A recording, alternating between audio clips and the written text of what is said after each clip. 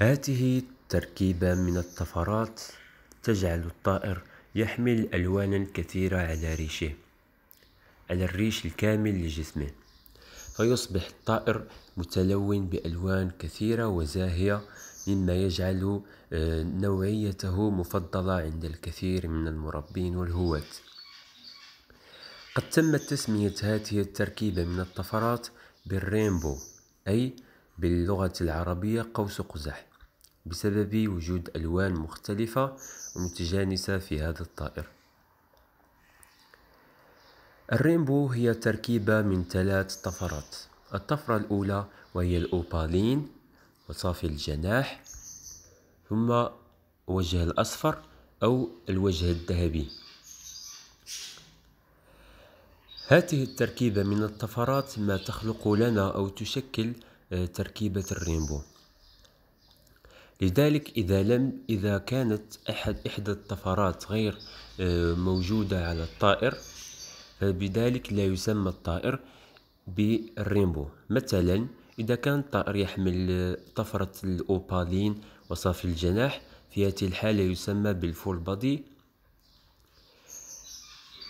أما إذا لم يكن إذا كان حامل للوجه الأصفر فيسمى بالرينبو في بعض الهواة أو المبتدئين يذكرون أن الطائر آه، الطائر الخاص بهم رينبو لكن في الحقيقة ليس رينبو لماذا؟ لأن الإسبانجل أو المنقط السائد أو المنقط المتنحي أو أي طفرات أخرى مدمجة في هذه التركيبة لا يظل الطائر يعتبر رينبو في المسابقات لأنه في المعارض يجب أن تشترك هذه الثلاث طفرات فقط حتى يسمى بتركيبة الرينبو. يمكنكم هنا مشاهدة طفرة صافي الجناح أي أن تلوين الجناح لا يصبح رمادي أو أسود بل يصبح رمادي باهت جدا. بالنسبة للوجه الأصفر فيمكنكم رؤيته بسهولة.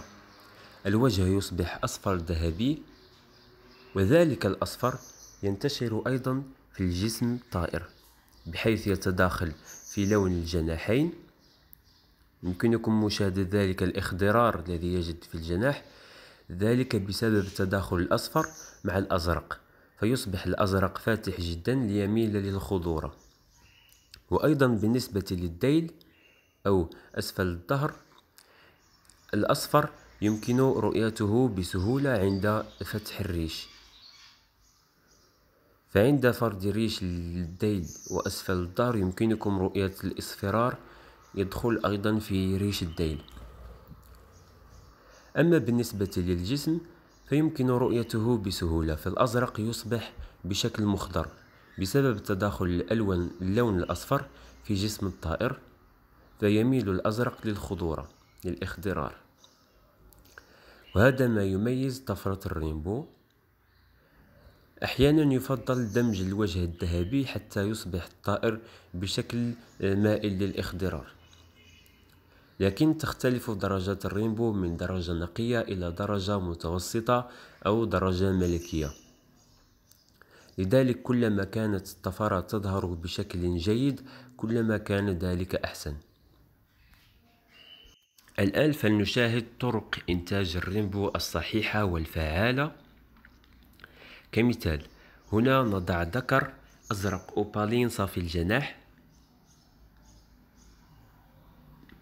كما تشاهدون في الصورة بالنسبة للأشخاص الذين لا يعرفون أسماء الطفرات ويمكنكم مشاهدة آه، آه، شرح وتفصيل وطريقة إنتاج آه، أوبالين صافي الجناح في المقطع الخاص به في سلسلة الطفرات. نضع هذا الذكر ونقوم بتزويجه مع أنثى أوبالين صفراء الوجه أو ذهبية الوجه حاملة لطفرة صافي الجناح. يجب أن تتوفر كل هذه الطفرات حتى نحصل على ناتج بنسبة مهمة وكبيرة من الإنتاج.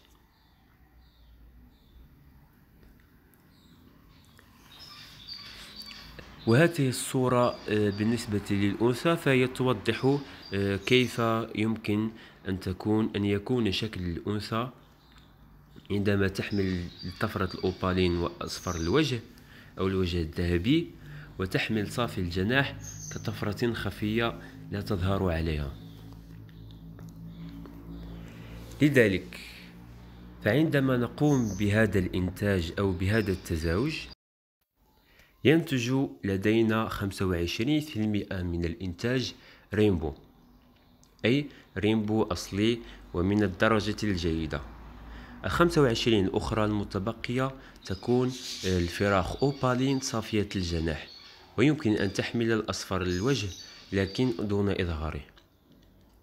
وخمسين في المئة الأخرى تكون غالب الإنتاج أوبالين أو من الطفرات الأخرى التي تحملها يحملها الزوج.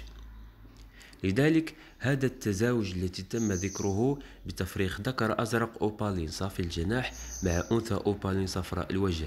حاملة لصافي الجناح هو الإنتاج الأحسن حتى آه، ننتج رينبو آه، نقي ولكن أيضا بنسبة مهمة في الإنتاج. وإن شاء الله سوف أقوم برفع مقطع بخصوص هذا التزاوج حتى نقوم بتتبع الزوج من التفريخ إلى الإنتاج حتى فطم الفراخ.